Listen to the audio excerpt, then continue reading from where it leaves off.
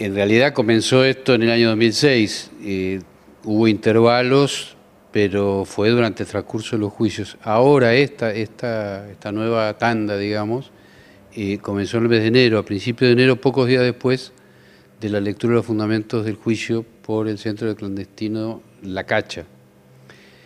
Y bueno, ahí comenzó esta nueva etapa de, intimidaciones, de amenazas eh, de distinto tipo, que, insisto, por razón de investigación no se pueden especificar, pero que, fueron, fueron repitiéndose y aumentando.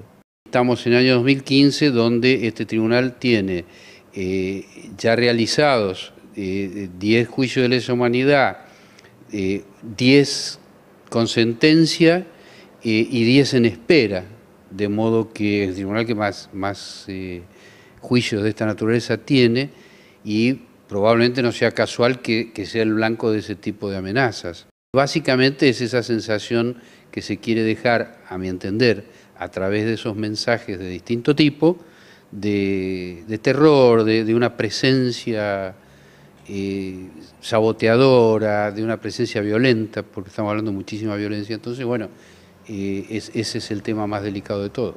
Lo que ha sucedido, que claramente fue, fue no solo denominado genocidio, sino que ha sido comprobado que fue un genocidio, ha tenido un origen económico y ha tenido una colaboración claramente eh, importante de sectores de la sociedad que aún está en investigación. Entonces probablemente ese sea uno de los factores que preocupe a quien no quiere o no está de acuerdo con este proceso que, insisto, es irreversible.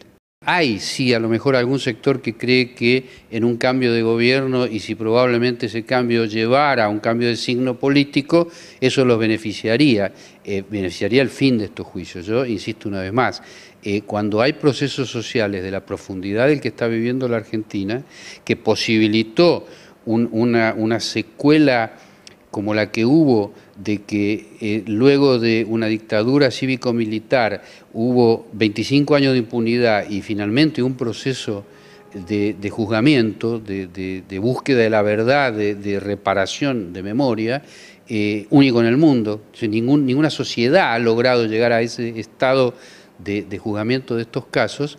Eh, es evidente que eso va a generar sectores que no están de acuerdo.